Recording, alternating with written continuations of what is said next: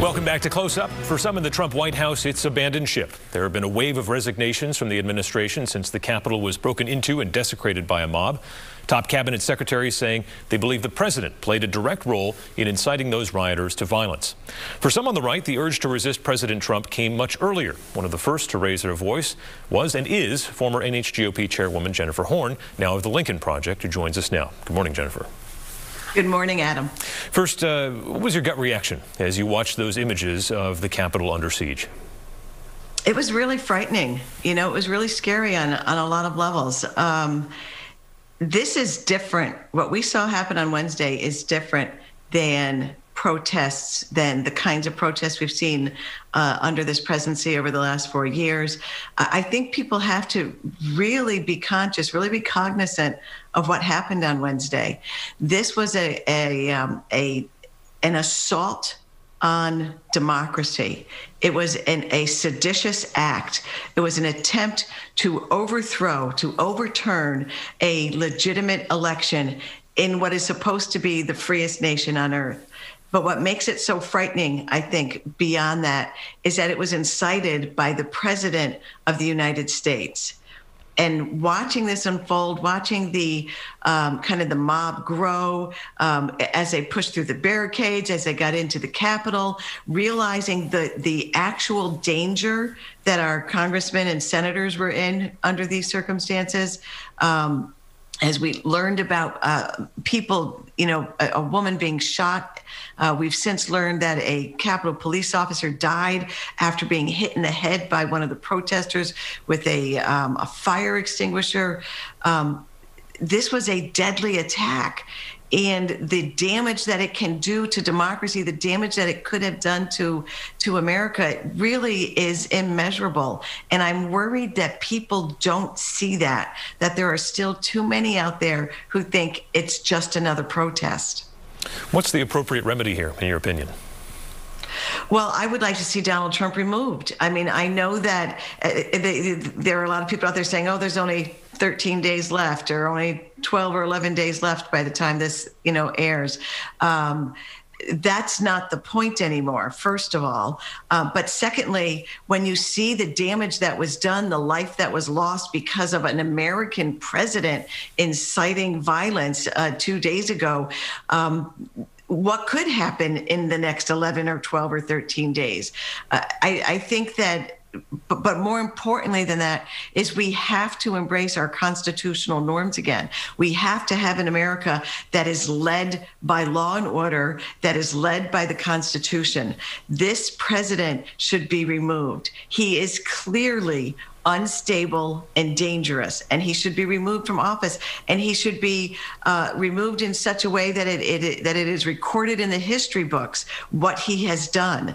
Um, he he and those who have supported him and empowered him should not be allowed to whitewash the truth once he is gone.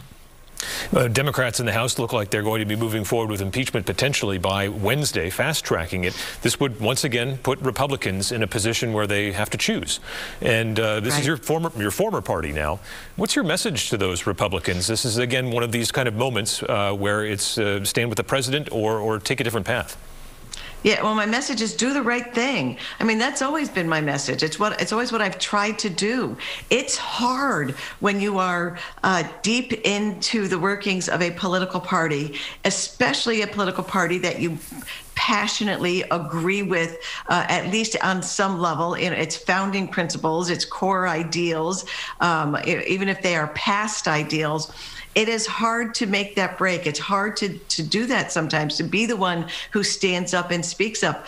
Uh, but I implore them to do the right thing. And frankly, it doesn't end with the president. We have 13 Republican senators who signed on to uh, actively engage in overturning what they know are the legitimate uh, results of an election. They need to be held accountable uh, once Donald Trump is dealt with as well. Maybe after the uh, the President Biden is sworn in, whatever the appropriate time is. But there are constitutional checks and balances. Are constitutional um, um, structures here that can be implemented, and it is not without precedent. You know, in back in 1861, 10 members of the United States Senate were expelled by their colleagues because they uh, they plotted against the United States government as we approached this uh, in the opening days of the Civil War. I don't I, I don't begin to compare this obviously to the Civil War, but that's what these people have done. They have plotted against the the uh, free and fair elections. They've plotted against uh, the duly elected government of the United States. You were chair of the party through a first in the nation primary cycle, so you're well acquainted with ambitious politicians. What's your assessment of Senator Josh Hawley? he wants to be president of the United States someday, and he's willing to take the lowest road and the most despicable uh, anti-American path to get there. Um, and if you watched his remarks uh, from the Senate chambers on Wednesday night, after the Senate reconvened, after what turned out to be a deadly mob tried to take over the U.S. Capitol, after seeing all of this unfold on television himself, after being in that chamber while people uh, outside wanted to break in to hold hostage Josh Hawley and our American senators. Even after all of that, he stood without shame on the floor of the U.S. Senate, played directly to the camera, um, and continued the same uh, the same un-American plot, the same un-American plan uh, that he uh, came into the day with. Um, we need to see these people for who they are, and and after all of that, all Josh Hawley could think about was he wants to be president someday, no matter what it takes. I find people like Ted Cruz and Josh Hawley, frankly, much more dangerous than Donald Trump because they actually know better. Donald Trump lives in a mentally unstable, um, this, this, bizarre, narcissistic, you know, uh, un, un, unright, unreal world, disconnected from reality in his own brain. That's not true of Ted Cruz and Josh Hawley's and uh, uh, Josh Hawley and others on that list. They know the truth, they know what they're doing, and they know the potential consequences. They have to be stopped before they get anywhere near the White House. In the Republican base, there's obviously uh, more diversity in their reaction to this event than there have been in prior sort of controversies that have bubbled up.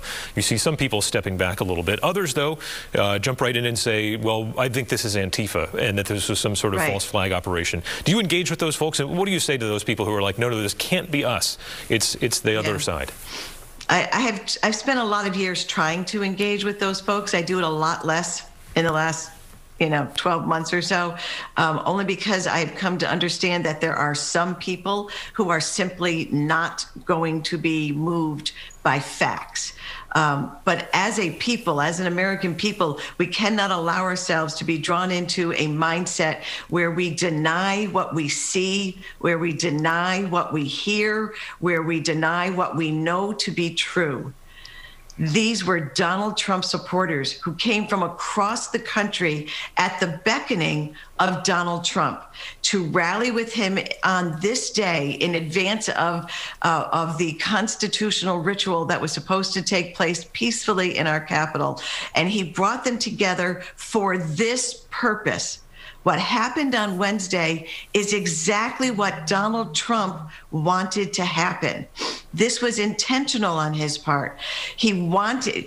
Donald Trump slept soundly on Wednesday night with the knowledge that he was able to send forth literally an army of supporters who were willing to um, to ransack, attack, kill, and die on his behalf.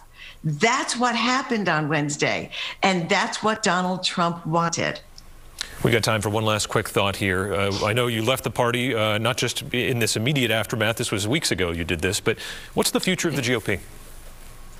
I don't, I, I, can't begin to understand what the future of the GOP is going to be. You know, I didn't leave the party because of Donald Trump, and I tried to make that clear when I wrote about it. I lived for the last four years with the apparently naive belief or hope that when Donald Trump was defeated, that there would be people in our party who would come forward again and say, all right, we need to put this behind us. We need to reset. We need to remind ourselves of what Abraham Lincoln fought and ultimately died for in this country, that that's who we're supposed to be as Republicans, as Americans. And what happened after the election was that all of these Republicans who have ambitions for future leadership decided that they were going to build the future of our party on the destruction of a defeated president. That was their moment when Donald Trump was defeated. That was their opportunity. And Jennifer, and they chose to go in a very different direction. And we've got to this wrap up here. This is not my party. I, I, hear you, but, but this is, uh, you yeah. know, we're out of time, but uh, we thank you for your perspective, uh, and we'll talk to you in the future. Appreciate it. Thank you so much, Adam.